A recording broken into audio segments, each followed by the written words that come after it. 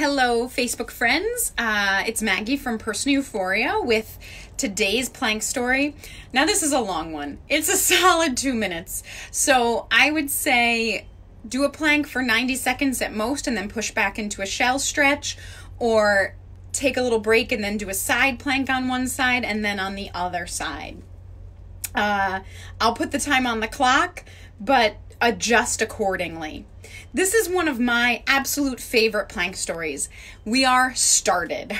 So, my grandfather was in the South Pacific during World War II, and when the sailors would get leave on these islands, they would create uh, baseball games or they would set up boxing rings. And so one day, my grandfather got into the boxing ring, and now he was only five foot eight or five foot nine, and he was never much over 140. So certainly when he was 18, he was slight and a, and a small small in stature.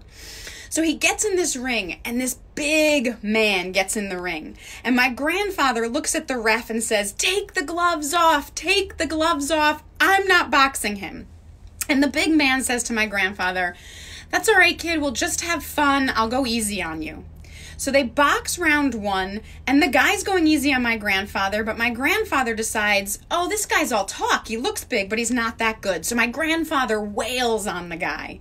And at the end of round one, the man says to my grandfather, hey, kid, I thought we were taking it easy. Round two, my grandfather still thinks this guy's a joke, so he pounds on him, and the guy does take it easy on my grandfather. And after round two, this giant man says to my grandfather, hey kid, you're all in, I'm all in. So my grandfather goes to the ref, take the gloves off, take the gloves off, and he does not box round three. You are now at a minute and a half. So flash forward and my grandfather is out of the war. He's back home. He's in New York City with some friends at a bar. And the bartender says to them, Hey guys, we have heavyweight champion Ezzard Charles in the back signing autographs.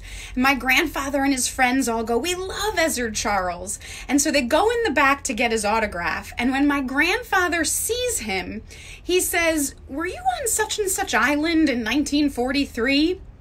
And Ezzard Charles picks my grandfather up in a bear hug, lifting him off the floor, and says, Were you that punk kid? And my grandfather always said he was so excited that he forgot to get Ezzard Charles' autograph, but it didn't matter because all his friends saw that he had boxed heavyweight champion Ezzard Charles.